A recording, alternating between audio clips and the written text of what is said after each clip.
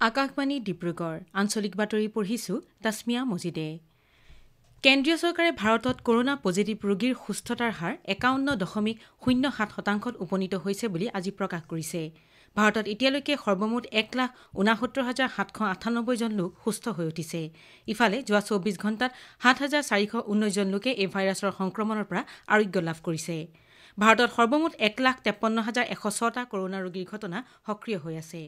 অন্যহাতে কেন্দ্ৰীয় স্বাস্থ্য আৰু পৰিয়াল কল্যাণ মন্ত্ৰালয়ে শেহতীয়াকৈ প্ৰকাশ কৰা তথ্য অনুসৰি যোৱা চৌবিছ ঘণ্টাত এঘাৰ হাজাৰ পাঁচশ দুজন লোক কভিড নাইণ্টিনত আক্ৰান্ত হোৱাকে ধৰি ভাৰতত আক্ৰান্ত লোকৰ সংখ্যা তিনি লাখ বত্ৰিছ হাজাৰ চাৰিশ চৌব্বিছজনলৈ বৃদ্ধি পাইছে। অন্যহাতে বিগত চৌবিছ ঘণ্টাত তিনিশ পঁচিছজন লোকৰ মৃত্যু ঘটাত সমগ্ৰ দেশজুৰি কৰোনা ৰোগীৰ মৃত্যুৰ সংখ্যা ন হাজাৰ পাঁচশ বিছজনলৈ বৃদ্ধি পাইছে।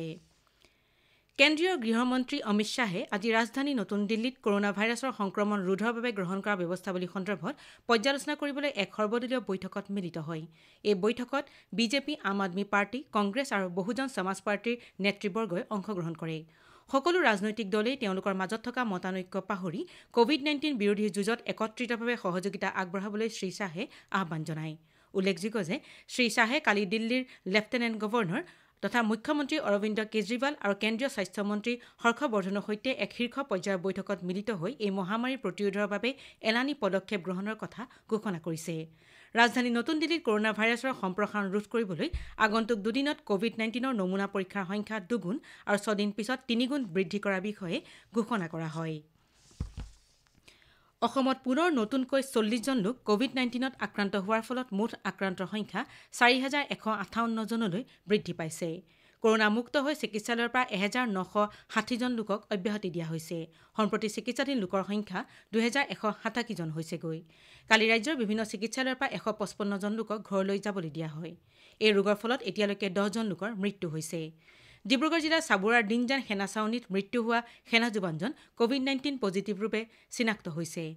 বিশেষকৈ গুৱাহাটী মহানগৰীত ভ্ৰমণ বৃত্তান্ত নথকা পঁচিছজন লোক আক্ৰান্ত হোৱাৰ ঘটনাই সামাজিক সংক্ৰমণৰ ঘটাৰ সম্ভাৱনা প্ৰকট কৰি তুলিছে। পঁচিছ মে'ৰ পৰা সোতৰখন ৰেলযোগে বহিৰাজ্যৰ পৰা অসমলৈ অহা লোকৰ মাজত সংক্ৰমণ প্ৰতিদিনে বৃদ্ধি পাই আহিছে। হোজাই জিলা সৰ্বাধিক কৰোনা আক্ৰান্ত হিচাপে চিনাক্ত হোৱাৰ বিপৰীতে ধুবুৰী দ্বিতীয় স্থানত আৰু নগাঁও জিলা তৃতীয় স্থানত আছে। এইখিনিতে উল্লেখ কৰিব পাৰি যে যোৰহাটত একত্ৰিছজন লোকৰ দেহত আজি কভিড নাইণ্টিনৰ লক্ষণ ধৰা পৰিছে। ইয়াৰে তেইছজন সামৰিক বাহিনীৰ লোক আৰু তেওঁলোক বহিৰাজ্যৰ পৰা যোৰহাটলৈ আহি কোৱাৰেণ্টাইন হৈ থকাৰ পিছত আজি তেওঁলোকক এয়াৰফ'ৰ্চ হস্পিটেললৈ প্ৰেৰণ কৰা হৈছে। বাকী থকা আঠজনক যোৰহাট চিকিৎসা মহাবিদ্যালয়লৈ প্ৰেৰণ কৰা হৈছে। বাগজানৰ গেছকোপত সংঘটিত অগ্নিকাণ্ডৰ পিছত অঞ্চলটোত হৈ থকা সঘন ভূমিকম্পৰ দৰে ঘটনাৰ কাৰণ আৰু প্ৰভাৱ অধ্যয়নৰ বাবে উত্তৰ পূব বিজ্ঞান আৰু প্ৰযুক্তিবিদ্যা প্ৰতিষ্ঠানক মুখ্যমন্ত্ৰী সৰ্বানন্দ সোণোৱালে দায়িত্ব অৰ্পণ কৰিছে। এই অধ্যয়নত গুৱাহাটীৰ ভাৰতীয় প্ৰযুক্তিবিদ্যা প্ৰতিষ্ঠানেও সহযোগিতা আগবঢ়াব আৰু অধ্যয়নৰ পিছত প্ৰতিবেদনো দাখিল কৰিব। কালি বাগজানত মুখ্যমন্ত্ৰীয়ে কৰা ঘোষণাৰ পিছতে আজি তাৎক্ষণিকভাৱে এই পদক্ষেপ গ্ৰহণ কৰা হয়। এইখিনিতে উল্লেখ কৰিব পাৰি যে মুখ্যমন্ত্ৰী সৰ্বানন্দ সোণোৱালে কালি কেন্দ্ৰীয় পেট্ৰলিয়াম মন্ত্ৰী ধৰ্মেন্দ্ৰ প্ৰধানৰ সৈতে বাগজানত উপস্থিত হৈ অঞ্চলটোৰ পৰিস্থিতি পৰিদৰ্শন কৰাৰ লগতে আশ্ৰয় শিবিৰত থকা ক্ষতিগ্ৰস্তসকলৰ সৈতে মত বিনিময় কৰি অৱস্থাৰ বুজ লয়। মুখ্যমন্ত্ৰীগৰাকীয়ে বাগজানৰ ঘটনা সন্দৰ্ভত তদন্তৰ দায়িত্ব অতিৰিক্ত মুখ্য সচিব মনীন্দ্ৰ সিঙক অৰ্পণ কৰি পোন্ধৰ দিনৰ ভিতৰত প্ৰতিবেদন দাখিল কৰিবলৈও নিৰ্দেশ দিয়ে। কেন্দ্ৰীয় ৰাজ্য চৰকাৰে অহৰহ এই পৰিস্থিতি নিয়ন্ত্ৰণৰ লগতে ক্ষয় ক্ষতি পূৰণৰ বাবে নিৰীক্ষণ আৰু প্ৰচেষ্টা অব্যাহত ৰাখিছে বুলিও মুখ্যমন্ত্ৰীয়ে জানিবলৈ দিয়ে। কালি পৰিদৰ্শন কালত মুখ্যমন্ত্ৰীক বাগজান গাঁও মিলনজ্যোতি যুৱ সংঘই বিভিন্ন দাবী সম্বলিত এক স্মাৰক পত্ৰও অৰ্পণ কৰে। কৰোনাৰ সংক্ৰমণৰ বাবে কিছু সময় ধৰি বন্ধ হৈ থকাৰ পিছত দেশত পুনৰ সোতৰ হাজাৰ আধাৰ কেন্দ্ৰ মুকলি কৰা হৈছে।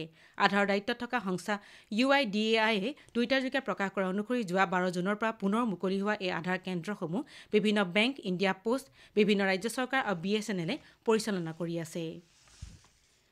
ব্ৰিটিছৰ বিৰুদ্ধে সূচনা কৰা ঊনৈছশ বিয়াল্লিছ চনৰ ভাৰত ত্যাগ আন্দোলনত প্ৰাণ আহুতি দিয়া মুক্তিযোদ্ধা শ্বহীদ কুশল কোঁৱৰৰ আজি সাতসত্তৰ সংখ্যক মৃত্যুতিথি যোৰহাট মুক্তিযোদ্ধা সন্মিলনৰ উদ্যোগত তথা যোৰহাটৰ অপেন এয়াৰ জেইল কৰ্তৃপক্ষৰ সহযোগত আজি মহেন্দ্ৰনগৰ অপেন এয়াৰ জেইলৰ চৌহদত থকা শ্বহীদ কুশল কোঁৱৰৰ সমাধিস্থলীত এক শ্ৰদ্ধাঞ্জলি অনুষ্ঠানৰ আয়োজন কৰা হয়। যোৰহাটৰ এশ দুই বছৰীয়া বিশিষ্ট মুক্তিযোদ্ধা খৰ্গেশ্বৰ গগৈয়ে পতাকা উত্তোলন কৰি অনুষ্ঠান আৰম্ভ কৰে। আজি অনুষ্ঠানত জেইলাৰ যোগেন নাথৰ উপস্থিতিত মুক্তিযোদ্ধা মুনীন্দ্ৰ নাথ দত্ত প্ৰমুখ্যে তেওঁৰ পৰিয়ালবৰ্গই সমাধিত পুষ্পাঞ্জলি অৰ্পণ কৰে। আমাৰ আজি আঞ্চলিক বাতৰিও ইমানেই।